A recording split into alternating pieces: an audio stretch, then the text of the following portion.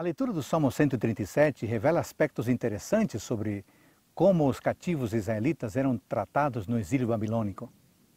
A opressão emocional está presente no texto. É perceptível a melancolia nas palavras registradas, devido às circunstâncias vividas pelos cativos. A Babilônia era conhecida na época como a região de muitas águas. Nesse sentido, o salmista começa sua escrita dizendo que estava às margens dos rios da Babilônia. O lugar era emblemático, visto que o choro tomava conta das emoções ao lembrarem de Sião e saberem que a realidade do cativeiro veio pela desobediência a Deus. Eles estavam colhendo os frutos que haviam plantado com sua rebeldia. Se anteriormente se orgulhavam da glória de Sião, agora choravam por sua destruição. As harpas, as harpas eram penduradas como símbolo de tristeza. A música sempre acompanhou a adoração e a alegria de Israel. Agora em exílio, os cativos deixavam seus instrumentos musicais que outrora foram usados com tanto prestígio. Quantas vezes passamos por situações que nos afetam de tal maneira que somos levados à tristeza ao invés, ao invés de alegria, às lágrimas em vez de o sorriso, ao luto em vez da celebração. A realidade muitas vezes não é fácil, mas com Deus conseguimos seguir em frente. Para zombar dos tristes israelitas, os opressores pediam que eles cantassem músicas de Sião.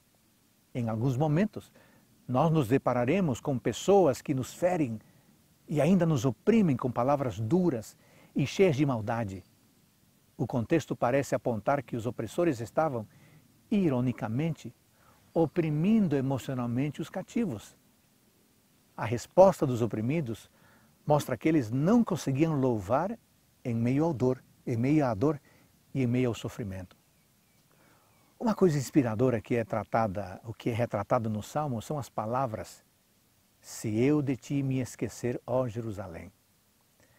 Parece que essa lembrança constante das promessas de Deus e de sua soberania sobre a história motivava os oprimidos a continuarem com a esperança erguida.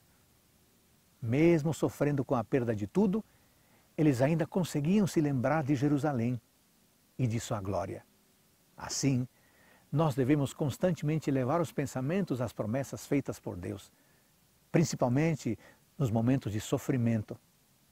Por fim, os oprimidos desejavam que, assim como eles sofreram, seus inimigos deveriam receber em igual medida.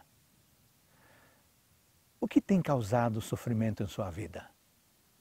Independentemente da situação, lembre-se das promessas divinas e saiba que Ele continua no controle da história e no controle da sua história.